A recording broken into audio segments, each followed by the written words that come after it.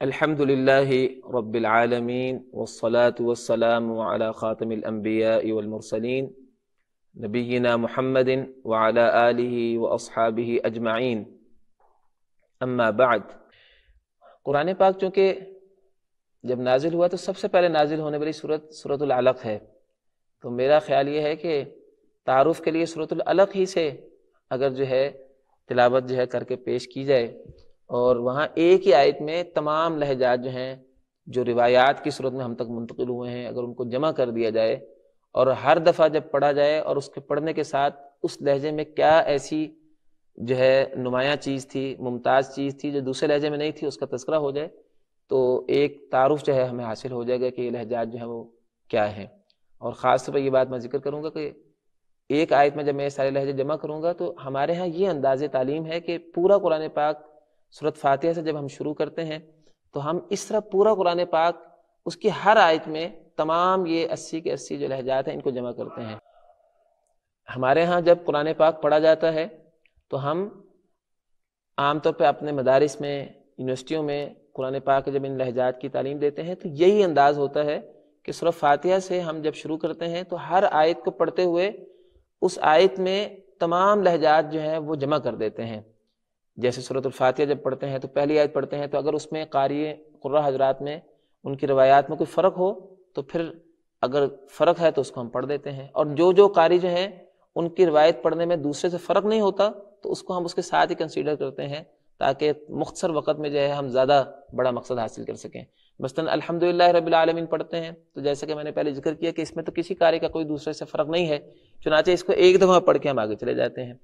پھر الرحمن الرحیم پڑھتے ہیں، چونکہ اس میں بھی کوئی فرق نہیں ہے قرآہ حضرات کا باہمی چنانچہ اس کو بھی ایک دفعہ پڑھتے ہیں، امام قانون ان کے شگرد جو ہیں نیچے ابو نشیط جو نیچے جو ہے ان کے شگردوں میں آتے ہیں، اسی جو ان کے ترک ہیں ان میں سے۔ تو اب چونکہ تمام راوی جو ہیں، تمام ترک ان کے ساتھ متفق ہیں، ہم اس کو ایک دفعہ پڑھ کے پھر آگے چلے جاتے ہیں۔ یہ نہیں کرتے کہ اسی دفعہ ہم اس آیت کو بار بار دہراتے جاتے ہیں۔ اگر تو کوئی فرق ہو، پھر دہراتے ہیں۔ اسی انداز میں جو ہے وہ ہم پڑھتے پڑھتے پورا قرآن باغ جو ہے وہ نکال لیتے ہیں۔ اس انداز میں آپ کے سامنے ایک آیت جو ہے صورت العلق کی میں انشاءاللہ تلاوت کروں گا۔ اگرچہ آغاز میں میں جو ہے صورت العلق شروع سے شروع کرتا ہوں اور جہاں تلاوت ختم ہوگی، اس آیت کو جو ہے انشاءاللہ بار بار ریپیٹ کر کے پڑھا جائے گا۔ اور ہر آیت کے ساتھ میں بتاؤں گا یہ کہ یہ لہجہ کس امام کا ہے اور اس کا دوسرے امام کے لہجے سے کیا فرق ہے۔ أعوذ بالله من الشيطان الرجيم. بسم الله الرحمن الرحيم.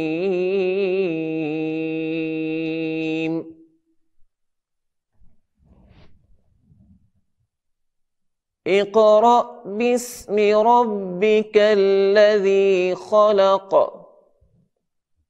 خلق الإنسان من علق. اقرأ وربك الأكرم الذي علم بالقلم. علم الإنسان ما لم يعلم. كلا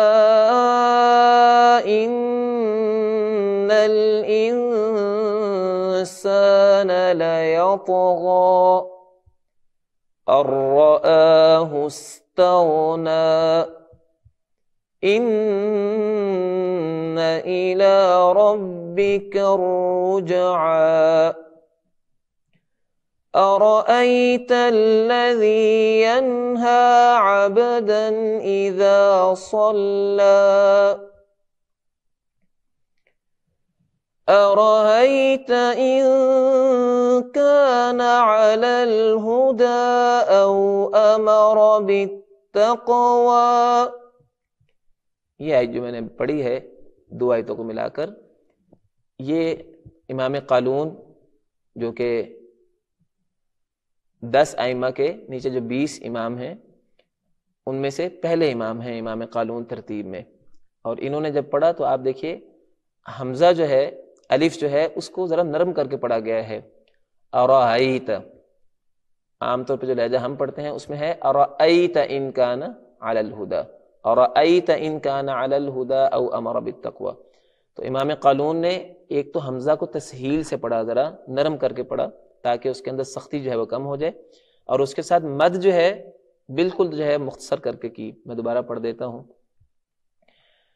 أرأيت إن كان على الهدى أو أمر بالتقوى؟ أرأيت إن كان على الهدى أو أمر بالتقوى؟ اب یہ دوسرا لہجہ ہے۔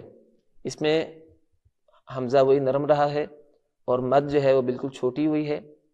اور اس کے بعد او امرا میں جو ہے، جو امرا کا حمزہ ہے، یہ گرا دیا ہے۔ اصل میں اہل عرب کے ہاں حمزہ جو لفظ کا، جو حرف ہے، یہ سب سے زیادہ ڈیفیکلٹ ادائیگی میں شمار ہوتا ہے۔ اس کا مخرج تمام حروف سے مخرج میں دور ہے۔ اسی وجہ سے عربی گرامر میں بھی وہ کلمہ جس میں حمزہ ہو، اسے محموز کہتے ہیں۔ تو اس میں عام طور پر انہوں نے طرح طرح سے حمزہ کا سکل اور اس کے جو ادائیگی کی مشکل ہے، اس کو دور کرنے کے لیے تبدیلیاں کی ہیں۔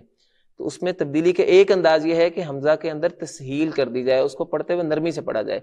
دوسرا انداز یہ ہے کہ حمزہ کا کو گرا کر اس کی حرکت پچھلے حرف کو دے دیں اگر وہ ساکن ہو تو۔ جیسے او امرا میں حمزہ کی حرکت دے دی واؤ کو اور حمزہ گرا دیا، اب واؤ جو ساکن تھا، اب اس پہ زبر آ گئی۔ اب میں دوبارہ پڑھ کے ذرا سناتا ہوں، آپ پھر نوٹ کیجیے۔ أرأيت إن كان على الهدى أومر بالتقوى اب یہ ایک لہجہ ہے۔ أرأيت إن كان على الهدى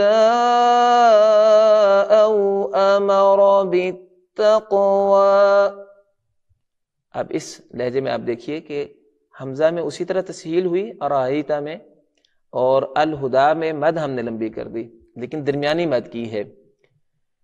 یہ بھی امام قالون کا لہجہ تھا۔ پچھلا جلا جو میں نے پڑھا، دوسرے نمبر پہ وہ امام اسبہانی ہیں۔ امام ورش جو بیس آئمہ میں سے ہیں، ان کے نیچے شگردوں میں امام اسبہانی ہیں۔ وہ ان کا لہجہ تھا، ان کی روایت تھی۔ أرأيت إن كان على الهدى أومر بالتقوى؟ اب یہ چوتھا انداز آپ دیکھیے۔ یہ بھی امام اسبہانی کا ہی لہجہ ہے، انہی کی روایت ہے جو انہوں نے نقل کی ہے۔ اس میں آپ دیکھیے تو ارائیتا میں حمزہ تسیل سے پڑھا گیا ہے اور الہدا میں درمیانی مت کی ہے اور آگے جا کے پھر پہلے کی طرح نقل حرکت ہو گئی ہے۔ پہلے وہ جو نقل کی تھی حمزہ کی حرکت پیچھے واؤ ساکن کو، اس میں مد کے اندر جو ہے ہم نے چھوٹی مد کی تھی۔ یہاں مد لمبی ہے، باقی چیز وہی ہے۔ تو یہ چار آپ دیکھیں روایات ہو گئیں۔ أرأيت إن كان على الهدى أومر بالتقوى؟ اب اس لہجے میں ارائیتا میں اسی طرح حمزہ نرم رہا، تسہیل سے پڑھا گیا، اور الہدے میں پڑھتے ہوئے تھوڑا سا اس کو اٹیلک کر دیا ہم نے۔ ایک ہے الہدا اور ایک ہے الہدے تھوڑا سا ہم نے اس کو ٹیڑھا کر کے پڑھا ہے۔ اور پھر مد کرتے وقت جو ہے مد ہم نے بہت لمبی کی ہے۔ پہلے مد درمیانی تھی، پہلی چار جو ہم نے انداز پڑھے تھے، اس میں مد زیادہ لمبی کی گئی ہے، بڑی طویل مد ہے۔ اور اس کے بعد او امارا میں جا کے نقل کر کے حمزہ کی حرکت پھر باؤ ساکن کو دے کے ہم نے پڑھا۔ یہ امام ورش جن کا لہجہ رائج ہے مراکش وغیرہ میں، یہ ان کا لہجہ ہے۔ اور یہ ان سے ان کے شگرد نیچے اسی جو ترخ ہیں ان میں سے امام ازرق رحمۃ اللہ علیہ جو قرآت کے ایک امام ہیں، انہوں نے نقل کیا ہے۔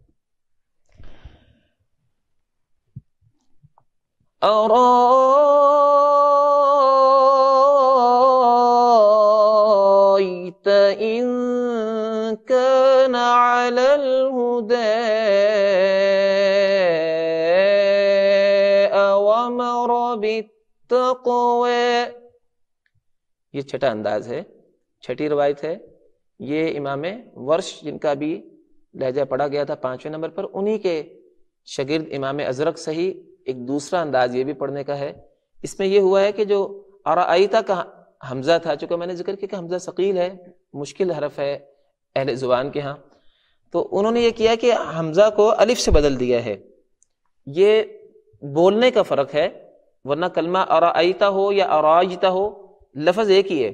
ان لفظوں سے کوئی فرق نہیں پڑتا۔ یہ ایسے ہی آپ فرق سمجھ لیجیے، جیسے انگلش زبان کے اندر جو ہے اسکیجول اور شیڈول کا فرق ہوتا ہے۔ لکھنے میں تو ایک جیسے ہی ہیں، پڑھتے ہوئے بولی کا تھوڑا فرق پڑ گیا ہے۔ اسی طرح جو ہے، اردو زبان میں اس کی مثالیں جو ہیں، جیسے میں پہلے بیان کر چکا ہوں کہ لکھنؤ کی اردو کا اور ہماری لاہور کی اردو کا بڑا فرق ہے۔ تو یہ اسی طرح کا جو ہے، فرق ہے۔ اس فرق میں، ارائیتا میں الف سے اس کو جو ہے بدل دیا ہے اور الف سے بدلنے کے ساتھ پھر مد کی گئی ہے اور آگے الہدا پہ جا کے پھر اسی طرح جو ہے اس کو ٹیڑھا کر کے تھوڑا سا پڑا گیا ہے۔ اس طرح ٹیڑھا کرنے کو امالا سغرا کہتے ہیں۔ امالا کا معنی مائل کر دیا حرف کو، جھکا دیا، لیکن سغرا کا معنی تھوڑا سا جھکایا ہے۔ آگے بھی جا کے زیادہ جھکانے کے بھی ایک لہجہ آئے گا۔ پھر مد کی گئی ہے الہدا میں، لمبی مد۔ اور آگے او امرا میں، حمزہ کو گرا کر اس کی حرکت واؤ ساکن کو دے کے اب امرا بن گیا۔ اب یہ چھ انداز ہو گئے جو آپ کے سامنے ابھی پیش کیے گئے ہیں۔ اب آگے چلیے۔ ذرا جی آپ کٹ کر دیجیے کہ درمیان سے چلیں۔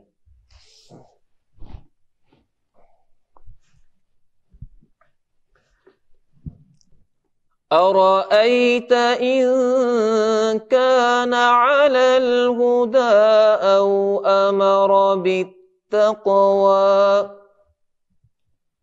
اب یہ جو ساتواں انداز ہے، یہ ساتویں روایت ہے، اس میں ارائیتا کے حمزہ کو پورے جو ہے اہتمام سے جو ہے اس کو تحقیق کہتے ہیں ہماری فنی زبان میں۔ حمزہ کو ہمیں نرم نہیں پڑا، پوری اس کی تمام مطلوبہ صفات کے ساتھ پڑھا۔ تجوید کی اصطلاحات میں حمزہ میں ایک صفت پائی جاتی ہے جس کا نام ہے صفت شدت، کہ حمزہ کو تحقیق سے پڑھا جائے۔ تو حمزہ کو پورے اہتمام سے ارائیتا پڑھا گیا۔ ارائیتا یا ارائیتا کر کے نہیں پڑھا گیا۔ اور اس کے بعد الہدا میں ہم نے اسی طرح جو ہے چھوٹی مت کی اور آگے او امرا میں بھی ہم نے حمزہ تحقیق سے پڑھا، ہم نے نقل نہیں کی۔ اور یہ لہجہ جو ہے، یہ امام عبداللہ ابن کثیر مکی، ان کا لہجہ ہے۔ ان کے جن سے دو، یہ ابن کثیر جو ہے، دس آئمہ میں سے ہیں۔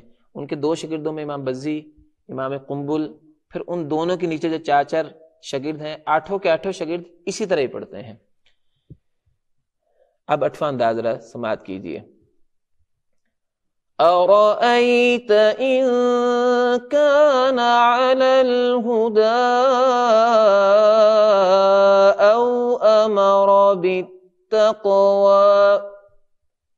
اب یہ وہی انداز ہے، جیسے امام عبداللہ ابن کثیر مکی اور ان کے شاگردوں نے پڑھا تھا۔ اس میں صرف اتنا فرق ہوا ہے کہ مد جو پہلے چھوٹی ہوئی تھی، اب درمیانی مد ہو گئی ہے۔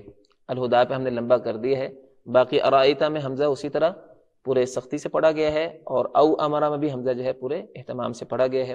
یہ لہجہ جو ہے، دس اماموں میں سے امام عبداللہ ابن عامر الشامی، جو چوتھے امام ہیں، پھر ان کے نیچے دو شاگرد ہیں، ہشام بھی، ابن زکوان بھی، پھر ان کے نیچے چار چار ان کے جو شاگرد ہیں، اسی طرق میں سے یہ سب ہی اس طرح پڑھتے ہیں۔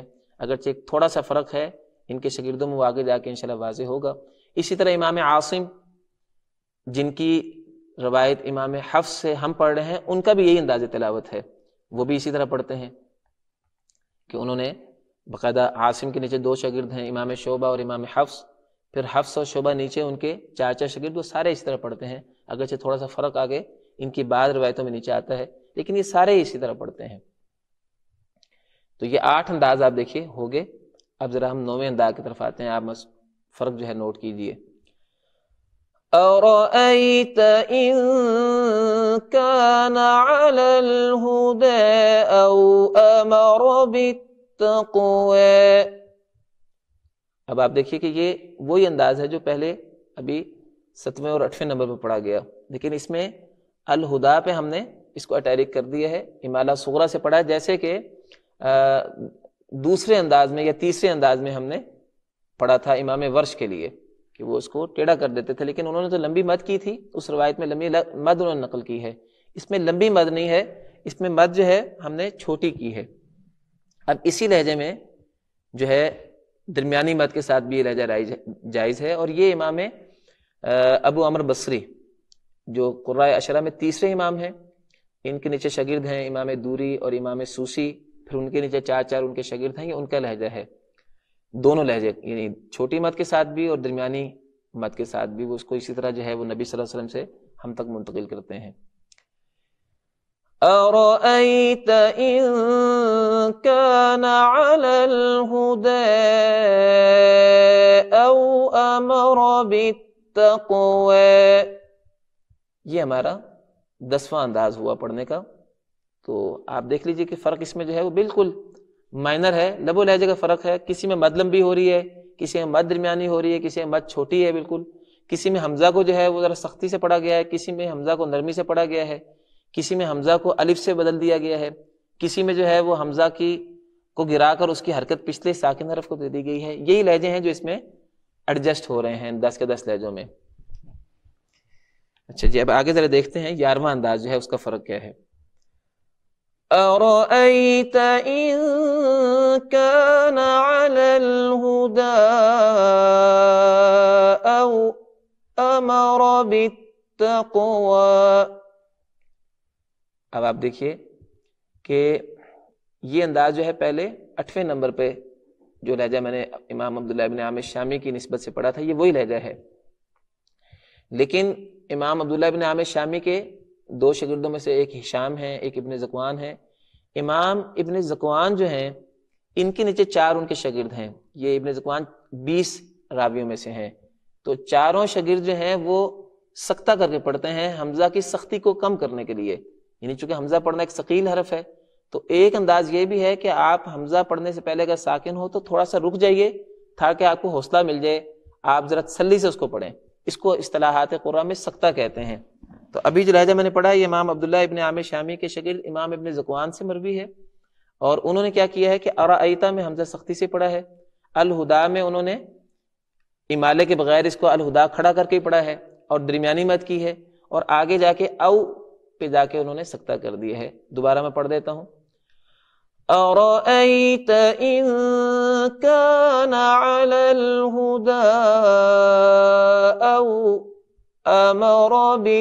بالتقوى یہ گیارہواں انداز ہے۔ اب بارہواں انداز رہ لیجیے، یہ امام ابن زکوان جن کا ابھی لہجہ پڑھا گیا ہے، ان کے نیچے چار ان کے شاگرد ہیں۔ ان میں سے ان کے ایک شاگرد یعنی اسی میں سے جو نیچے اسی طرق بن جاتے ہیں، ہر قاری کے نیچے آٹھ آٹھ یعنی امام کے آٹھ آٹھ نیچے شاگرد ہیں۔ اور اگر بیس راویوں کو لیا جائے تو ہر راوی کے نیچے چار چار شاگرد ہیں۔ تو ابن زکوان بیس میں سے ہیں۔ تو ان کے نیچے جو چار شاگرد ہیں، ان میں سے ایک امام نقاش ہیں۔ وہ باقاعدہ اسی طرح پڑھتے ہیں، لیکن ان کی ویسے جو لہجہ انہوں نے نقل کیا، اس میں وہ مد میں لمبی مد کرتے ہیں اور اس کے ساتھ جو ہے وہ سختہ کر دیتے ہیں۔ ذرا سنیے یہ بارہواں جو انداز ہے پڑھنے کا اس آیت کو۔ أرأيت إن كان على الهدى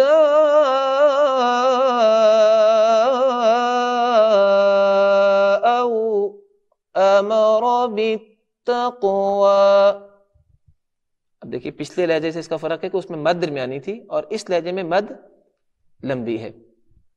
یہ بارہ انداز ہو گئے۔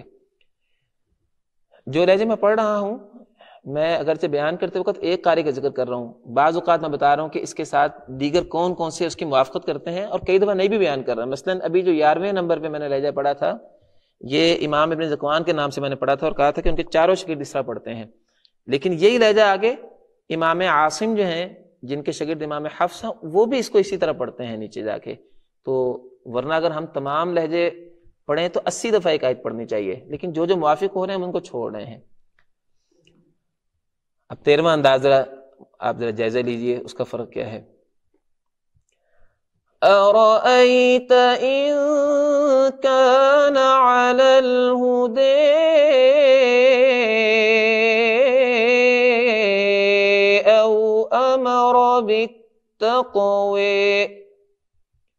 اس میں امالہ ہو گیا. اس کو امالہ کبرا کہتے ہیں. پہلے جو روایت ورش میں امالہ ہوا تھا، وہ امالہ سغرا تھا، وہ تھا اور انکان الہدے اور یہ ہے الہدے زیادہ ہم نے اس کو جو ہے جھکا کے پڑھا ہے. اس کو امالہ کبرا کہتے ہیں. اس لہجے کو امالہ سغرا کہتے ہیں. اس میں ایک تو امالہ کبرا ہوا ہے اور دوسرا مد جو ہے انہوں نے خوب لمبی کی ہے. یہ دو چیزیں اس میں نمایاں ہیں۔ باقی حمزہ جب پڑھا گیا رعیتا کا یا آگے او امارا کا، اس کو ایسے ہی پڑھا گیا جیسے ہم عام طور پر روایت حفظ میں پڑھتے ہیں۔ اب ذرا چودواں انداز ذرا سنیے۔ یہ جو لہجہ بھی میں نے پڑھا ہے تیرواں، یہ امام حمزہ ہیں۔ قرائے اشرا میں دس اماموں میں چھٹے امام ہیں یعنی قرآ صبا میں ان کا نمبر چھٹا ہے۔ قرآ اشرا میں بھی چھٹا نمبر ہی ہے۔ اور ان کے نیچے دو شگرد ہیں، امام خلف اور امام خلاد۔ اور خلف خلاد کے نیچے پھر جو ہے چار چار شگرد ہیں، گویا کہ آٹھ بن جاتے ہیں امام حمزہ کے نیچے ترک اسی میں سے۔ تو یہ سارے اسی طرح پڑھتے ہیں الہدے کو مد کے ساتھ اور امالے کے ساتھ۔ اب امام حمزہ ہی کا ایک دوسرا انداز جو ہے، اس مسئلے میں جو انہوں نے نقل کیا ہے، ذرا اس کا جائزہ لیجیے، یہ ہمارا چودواں انداز ہوگا۔ أرأيت إن كان على الهدى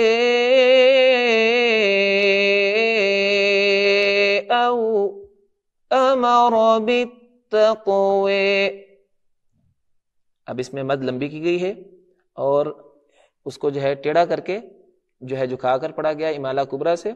اور اس کے بعد او امارا میں جا کے ہم نے سختہ کر دیا ہے ہم رک گئے ہیں۔ رک کے ہم نے حمزہ کو گویا کہ ایک تھوڑا سا ریلیکس کرنے کے لیے، پڑھنے والے کو جو ہے ریلیکسیشن دینے کے لیے جو ہے ٹھہر کے پڑھا ہے۔ اور یہ بات یعنی یہ نہیں کہ ہم نے ریلیکس اس کو کرنا ہے یہ نبی صلی اللہ علیہ وسلم سے اسی طرح ہم تک آگے آئمہ نے نقل کیا جو ناقلین ہیں۔ اب ذرا پندرہواں انداز کی طرف آئیے۔ یہ جو انداز میں نبی پڑھا ہے چودہ نمبر پر، یہ بھی امام حمزہ سے، ان کے شگرد امام خلف بھی اور ان کے شگرد امام خلاد بھی اور ان کے نیچے شگرد جو ہے وہ نقل کرتے ہیں۔ أرأيت إن كان على الهدى؟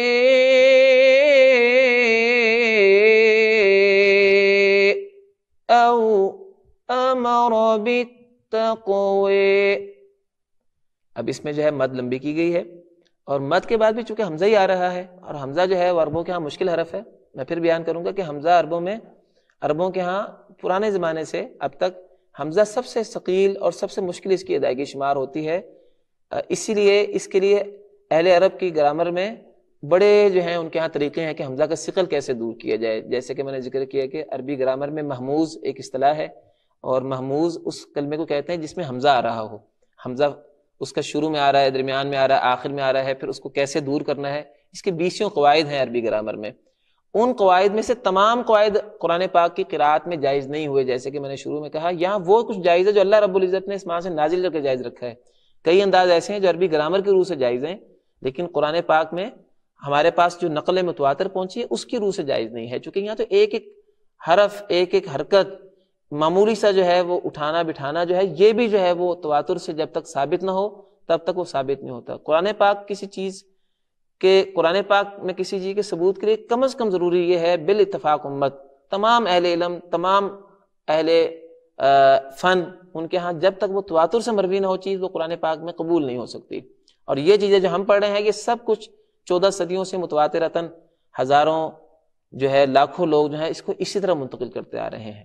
اور اگر یہ انداز جو آج میں بیان کر رہا ہوں، آپ دنیا کے کسی کونے میں چلے جائیں، آپ کو یہ انداز ہر جگہ پر ایک جیسے ملے گا۔ یعنی ایسا ممکن نہیں ہے کہ عالم اسلام کے ایک حصے میں جو ہے، وہ قرات خلف کسی اور طرح ہو اور دوسرے حصے میں قرات خلف کا معمولی سے بھی فرق ہو۔ شوشے کا بھی فرق نہیں ہے۔ یعنی اختلاف ہی نہیں ہے۔ چاہے جگہ کہ ہم بات کریں کہ ان کا آپس میں فرق کیا ہے۔ جو کچھ اللہ کے رسول صلی اللہ علیہ وسلم سے میں نقل کر رہا ہوں، یہی کچھ جو ہے وہ مصر کے اندر جو بندہ بیٹھا ہے وہ نقل کرے گا، جو باقاعدہ جو ہے مراکش میں بیٹھا ہے وہ نقل کرے گا۔ اگر امریکہ میں کوئی بیٹھا ہے وہ اگر اس نے یہ قرآت پڑھی ہیں، پوری دنیا کے اندر تمام اہل فن کے ہاں جو کچھ نقل متواتر ثابت ہے، اس سلسلے میں ان کا کوئی فرق نہیں ہے۔ اس لیے ہمارے یہاں ایک بات معروف ہو گئی ہے کہ قراءات یا قرآن میں شوشے کا بھی اور حرکت کا بھی فرق نہیں ہے۔ اس جملے کا اصل مطلب یہ ہے کہ جو کچھ اللہ کا رسول صلی اللہ علیہ وسلم سے ہم تک منتقل ہوا ہے، اس میں معمولی سا بھی فرق اور اختلاف نہیں پایا جاتا۔ یہ مطلب نہیں ہے کہ قرآن پاک میں ڈائلیکس کا اختلاف نہیں ہے۔ یہ تو سارے مانتے ہیں، بلکہ جو اس کا انکار کرے، اس کے اوپر کفر کا فتویٰ لگایا ہے ہمارے اہل علم نے، کیونکہ یہ چیز نقل متواتر سے قرآن پاک کے طور پر منتقل ہوئی ہے۔ جب کہا جاتا ہے کہ قرآن پاک میں شوشے کا بھی فرق نہیں ہے، تو اس کا مطلب یہ ہے کہ جو کچھ بطور قرآن، امت کے ہاں جو ہے مقبول ہے، اس میں تمام امت مسلمہ کا آپس میں کسی قرآن پاک کے سلسلے میں جس کو وہ قرآن مانتے ہوں، آپس میں ایک حرف کا بھی ان کا اختلاف نہیں ہوتا۔ یہ مانا ہے اس کا۔ لیکن ہمارے ہاں ہم انداز میں یہ مشہور ہو گیا کہ قرآن پاک میں زبر زیر کا بھی فرق نہیں ہے۔ حالانکہ بات چیزوں کا فرق جو ہے وہ تو ڈائلیکس میں موجود ہے۔ اس فرق کا انکار نہیں کرنا چاہیے۔ یہ جب کہا جاتا ہے نا کہ زبر زیر شد مد کا بھی فرق نہیں، تو اس کا مطلب ہے جو کچھ منتقل ہوا ہے، اس میں موجود اہل علم میں ہر زمانے میں کبھی کوئی فرق نہیں رہا۔ سب ایک ہی چیز میں متفق ہیں۔ تو پندرہ انداز جو ہیں وہ آپ کے سامنے میں نے پڑھے۔ یہ پندرہ انداز جو ہے، یہ بھی امام حمزہ جو کہ قرائے اشرا میں یا قرائے صبا میں چھٹے نمبر پر ہیں، ان کے نیچے دو شگرد ہیں، امام خلف اور امام خلاد، یہ ان کا انداز ہے۔ اب سولہواں انداز ذرا سماعت فرمائیے، اس کا فرق بھی ذرا نوٹ کیجیے گا۔ أرأيت إن كان على الهدى أو أمر بالتقوى؟ اب اس لہجے میں امالہ کیا گیا ہے اور امالے میں درمیانی مت کی گئی ہے، جبکہ اس سے پہلے جو تین لہجے یعنی تیرہ، چودہ اور پندرہ، یہ میں نے تین روایات پڑھی تھیں، ان میں مد لمبی تھی۔ پہلی دو میں تو مد بھی لمبی تھی، لیکن سکتا نہیں تھا، لیکن تیسرے لہجے میں مد کر کے سکتا بھی کیا گیا تھا مد کے اندر۔ اچھا اس میں مد لمبی نہیں ہے ہے امالا کبرا ہی، لیکن درمیانی مد ہے۔ یہ لہجہ امام خلف، جو دسویں امام ہیں دس قاریوں میں، اور ان کے نیچے شاگردوں میں امام ادریس، جو بیس راویوں میں سے ہیں، انہوں نے نقل کیا۔ پھر ان کے شاگردوں میں نیچے امام متوعی جو اسی میں سے ہیں نیچے۔ ان میں سے امام متوی نے یہ بات نقل کی ہے اپنے استاد امام خلف سے اور انہوں نے امام حمزہ سے اور امام حمزہ نے آگے اپنی صنعت سے نبی صلی اللہ علیہ وسلم تک اس طرح نقل کیا۔ تو یہ سترہ انداز ہو گئے۔ اب ذرا اٹھارہویں انداز کی طرف آتے ہیں۔ أرأيت إن كان على الهدى